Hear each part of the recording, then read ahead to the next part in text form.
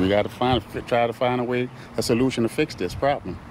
Storms across the city caused widespread street flooding. Good evening, I'm Kim Holden. And I'm Lee Zurik. A turbine in New Orleans stopped working during today's heavy rains. Amanda Roberts joins us live with more on the investigation into what exactly happened.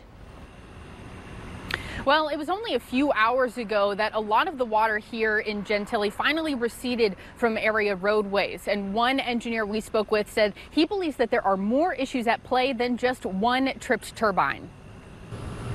Despite every effort to save their cars from floodwaters, Forrest Gaines still found himself shop vacuuming the floorboards. Every little hard rain, it, uh, it does that. It rains, it floods, and then it goes away.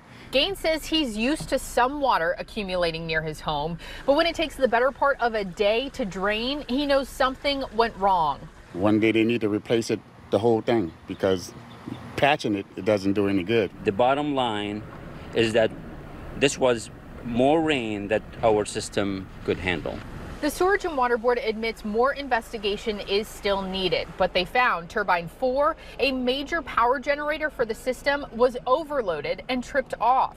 That caused a number of pumps to stop working. And with Turbine 5 still down after exploding in December, Sewerage and Water Board Executive Director Ghassan Korban says the city's drainage system is in a very precarious state this hurricane season. So we have redundancy in the system. It's not the redundancy we need. It's not the redundancy we had a year ago.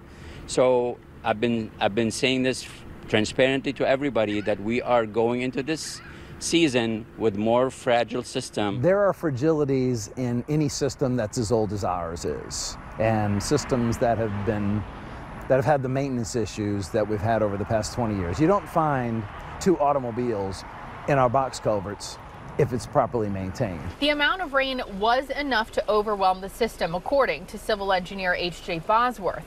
But he says the issue with this event may be as simple as human error. The right switches weren't turned on at the right time.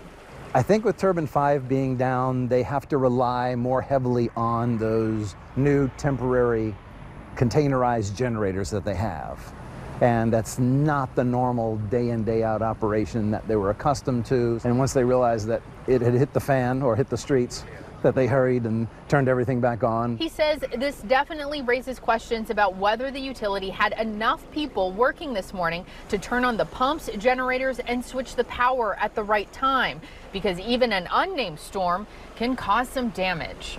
Just think, if we get another rain, hard rain like this, four or five inches of rain, we might be in another Katrina.